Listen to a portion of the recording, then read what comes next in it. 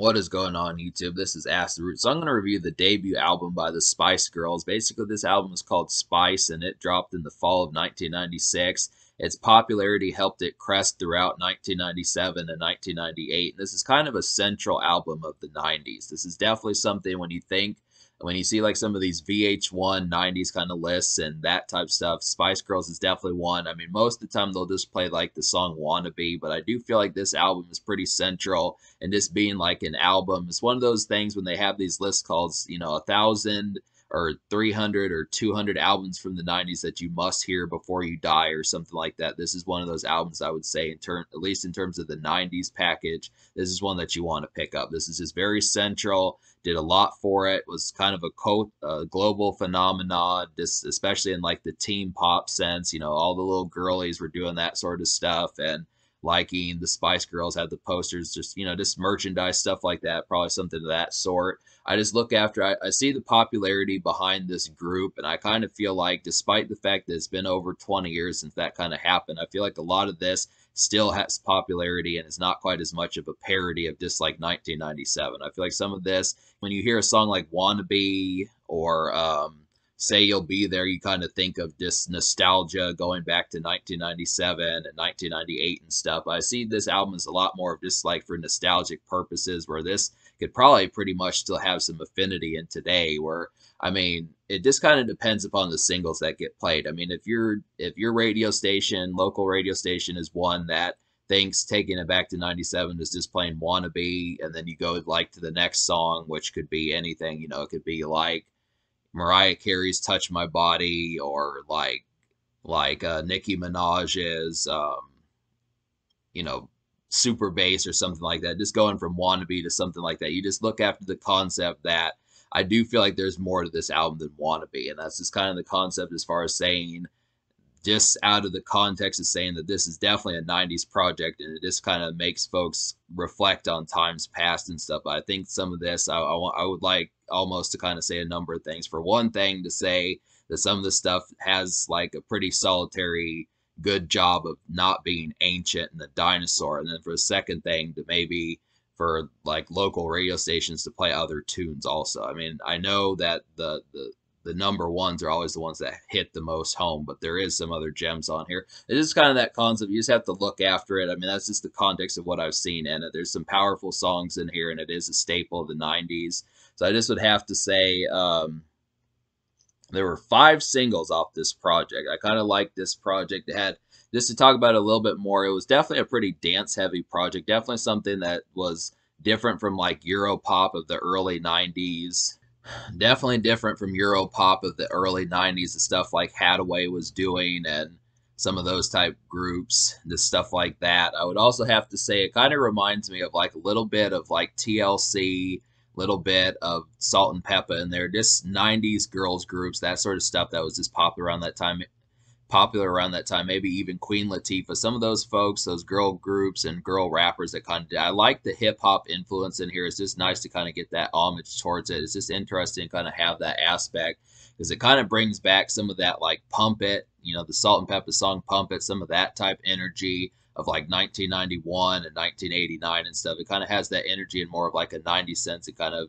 broadcasts it into like a super contemporary field and that sort of aspect. So yeah, the first single is Wannabe. This is probably the song you've heard the most. Definitely was a large song, hit number one. It's just kind of a parody almost when you think of like 1997. This is definitely, if you like music, this is a song that probably was one that a lot of folks heard. And this has a pretty central and ubiqu- ubiquitous kind of tone in there. It's definitely had the aspect of just being like a real central, this kind of 90s pop culture thing to know about. This is definitely one, if you like the 90s, that you should know about. It's just an overall good dance cut. I mean, reflecting on it and actually listening to it in a review aspect rather than rather than just hearing it on the radio, it is kind of a vanilla dance club tune. I just feel like it's just so basic. I mean, it's like it knew almost that was going to hit number one or something because it's not really like a super crazy kind of vibe and like the verses. It's more the chorus that's the most addictive part of this song, but in the verses, it's just kind of like a simple, just kind of you know, starry eyed kind of dance tune and just like a vanilla sense. Very vintage, just a shake your ass, shake it kind of song.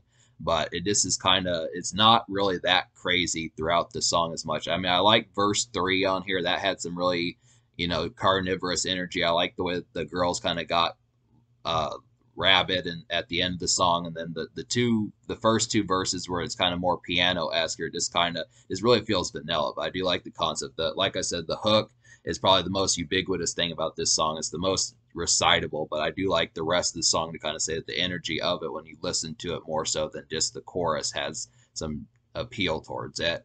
So, Say You'll Be There is the second single, and this is actually a pretty rock solid song. I like this song quite a bit. This is probably one of the best. Uh, this is definitely probably one of the best Spice Girl songs in my opinion.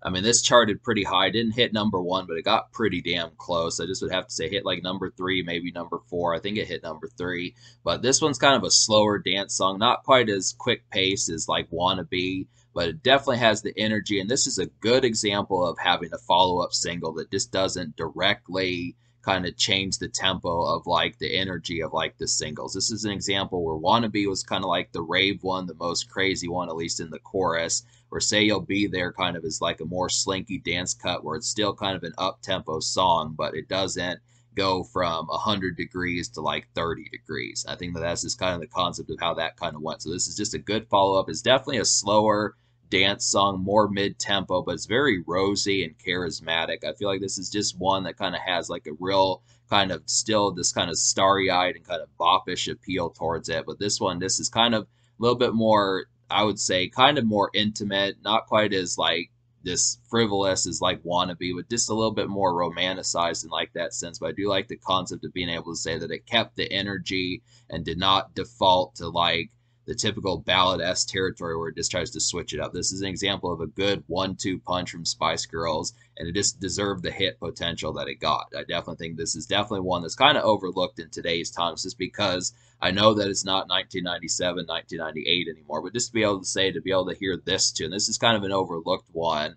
Or most of the time, I mean, I could definitely see like two become one being played just because it just switches it up. Where if you're not looking for something quick and ravenous and kind of more frivolous, that's the one to kind of go to. But I feel like this is kind of one that this is like, hey, do you remember that the Spice Girls did this kind of tune? So this is one that I talk about that just has a lot of hit potential. So it's kind of more forgotten about.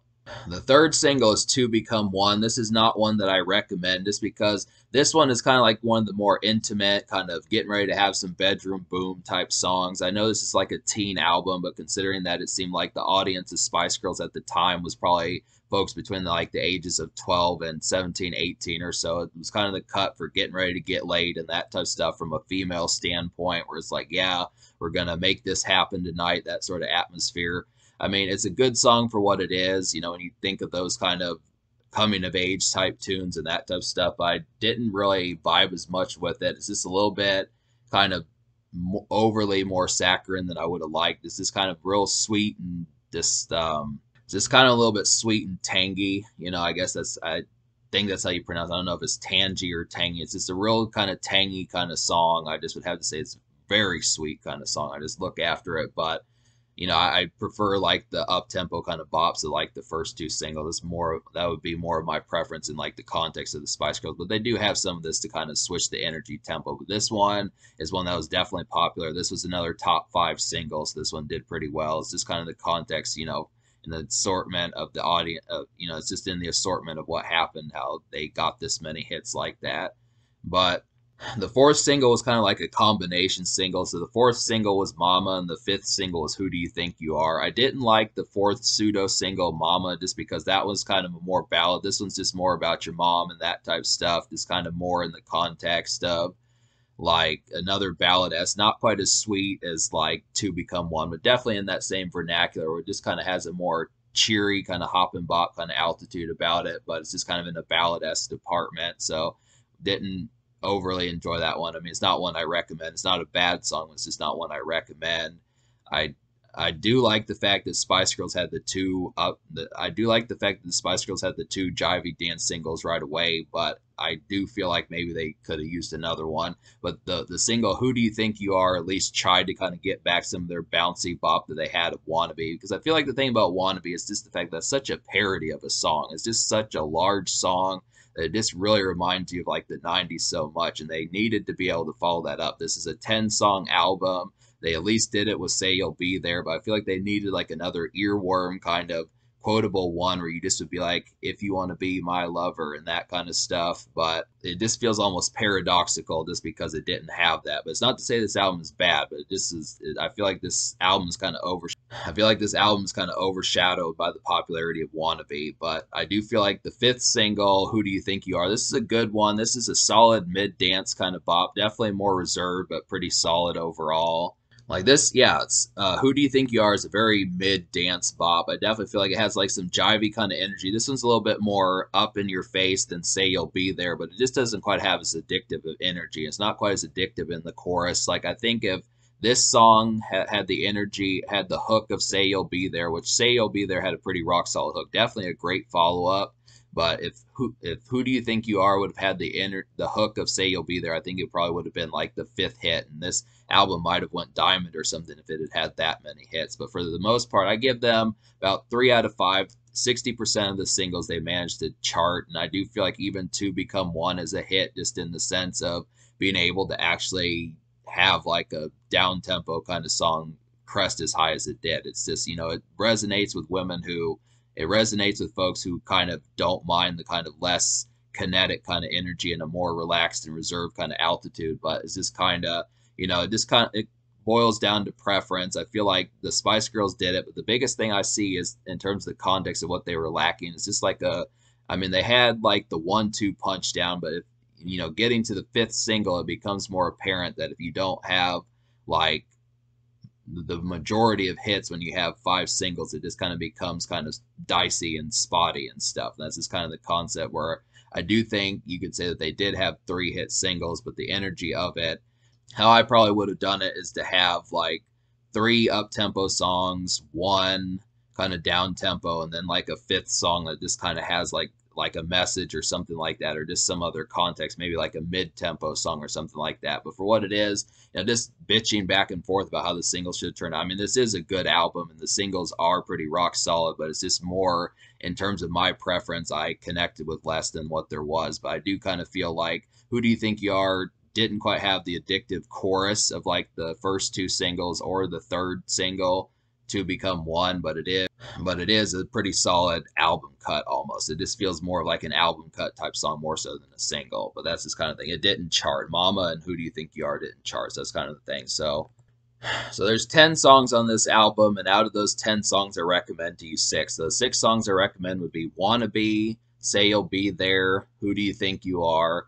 Something Kind of Funny, Love Thing, and Last Time Lover. So to talk about some of these, like I really feel like something kind of funny is very similar to Say You'll Be There. This is definitely kind of like an at the house jam, a very lazy dance cut. It's very reserved. I just kind of feel like it doesn't quite have the energy. Like they kind of have some more reserved energy on here. Like the energy of Wannabe is just not really conveyed that much beyond like another song like Last Time Lover. That's really the only one that has like the most kind of glossy and just kind of giggly kind of energy of wannabe. It's about the only time that these girls do that as much in the context of the rest of the album.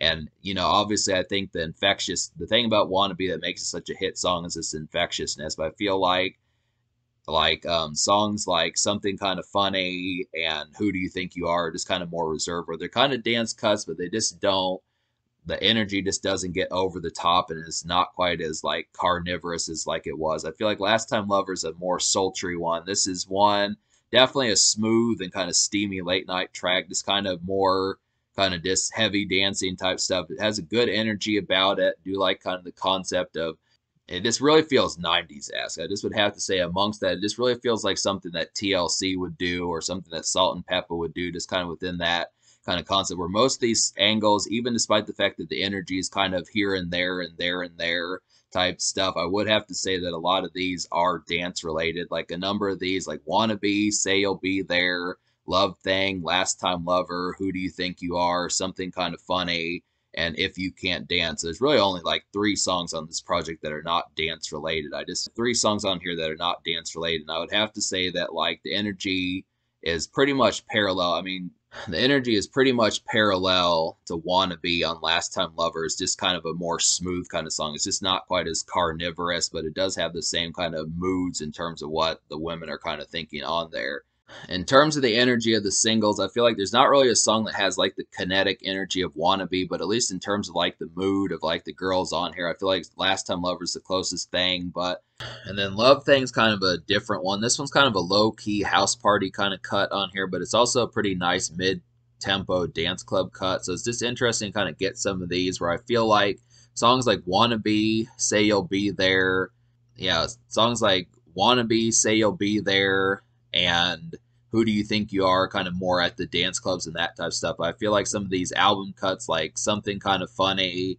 love thing, and a little bit of last time lover, kind of more house party kind of jams. And it's just kind of it's interesting the way the Spice Girls kind of pick like the singles as the ones that you'd listen to at like a nightclub and like a dance club especially, and then like the the album cuts are more for like kind of um, house parties and just low key kind of clubs and stuff. I mean, maybe back in 1998, you could have heard uh, an abundance of these that weren't the singles and like low key kind of clubs and some of that type stuff, or just random sporadic kind of moments. But I would say nowadays it would probably just be the singles, and that would be about it. But it's at least good to kind of see some of these in the reserve sense. I do feel like the three songs I recommended to you, which would be that are not album cuts, which are something kind of funny, Love Thing and Last Time Lover, just have particularly kinetic energy, and these are pretty good house party jams. That you'd be surprised at the connections that it would probably make just seeing some of these when you think, oh, you like Spice Girls, and then you play Wannabe. Well, there is more to Spice Girls than just Wannabe, and I definitely recommend, especially one that I would immediately recommend would be Say You'll Be There.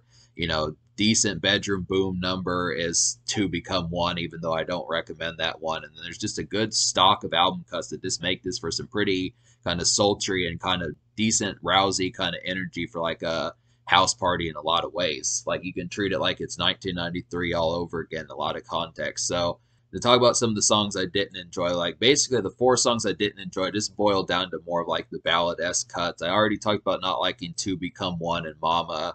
I kind of feel like If You Can't Dance, I just didn't like the arrangements of that one. I mean, I, I kind of was thinking when I first listened to it that this is going to be one that would be like another kind of low key kind of dance jam, but it just the arrangements behind it was trying to be really early 90s and it just didn't pitch that energy really well. Just didn't come off as really attractive of a song.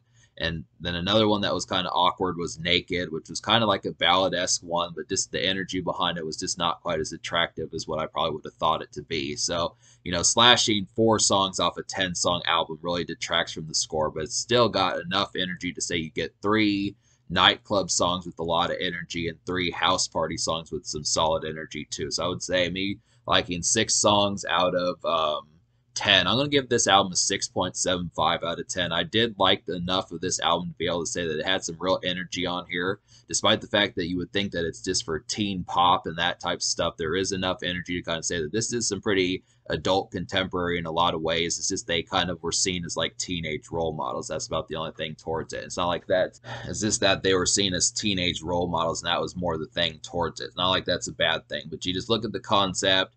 Three dance club cuts, three house party cuts. You get some good energy on here. So really, 6.75 is nothing to sneeze at. I feel like the social score I'll give a seven and a half just because they were trying on here to make some good jams and they pulled it off for the most part.